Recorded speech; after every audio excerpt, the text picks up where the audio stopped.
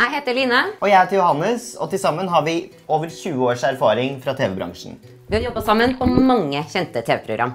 Line har en solid bakgrunn innen produksjonsledelse og internettmarkedsføring. Og Johannes sin, sin styrke er på regi og innhold.